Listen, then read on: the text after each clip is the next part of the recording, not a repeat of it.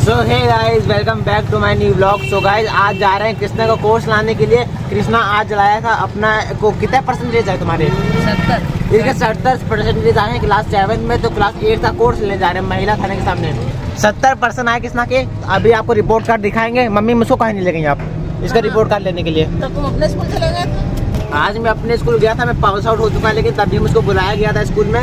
तो अभी आ चुके हैं स्कूल से। अब चलते हैं। पास आउट हुए कि ड्रॉप आउट हुए पास आउट हुए हैं। पास क्या होता है बताओ? ड्रॉप आउट हुए हैं। ये सी दीदी चल रही है कृष्णा का कोर्स लाने? मम्मी भी चल रही हैं और कृष्णा तो चलेगा ही। दस रिपोर्ट चल रही है।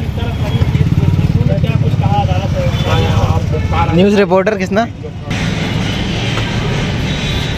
इतना ज़्यादा कोर्स गाइस रखा है यहाँ पे। मिलेगा कितना कोर्स गाइस भैया चैनल भी सब्सक्राइब करा लिया है और ये अपना कोर्स है यहाँ पे। कोर्स अपना। भैया लाइक करने के लिए कह दीजिए एक बार। बिल्कुल इनको लाइक करिए आप लोग। बहुत अच्छे हैं ये और इनकी वीडियोस बहुत आप लोग देखिए। और ये भैया कोर्स दे रहे थे। आप लाइक करने के लिए कह दीजिए।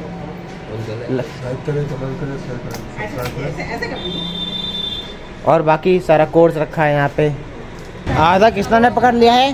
आधा मैंने पकड़ लिया है। गैस घर पे आ चुके हैं और कोर्स खोलती हैं दीदी। और मैं ये कह रहा हूँ कि कृष्णा का कोर्स बहुत ज़्यादा महँगा मिलता है। कृष्णा का कोर्स मिला है? सात हज़ार चार सौ कोर्स मतलब सात हज़ार पाँच साढ़े सात हज़ार रुपये का कृष्णा कोर्स मिला है?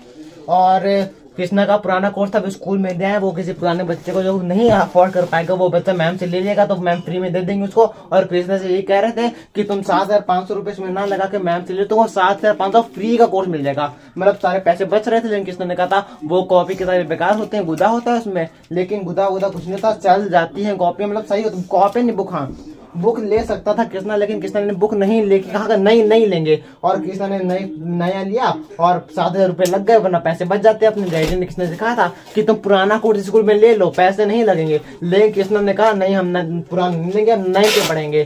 तो बताओ सही कह रहे थे मम्मी?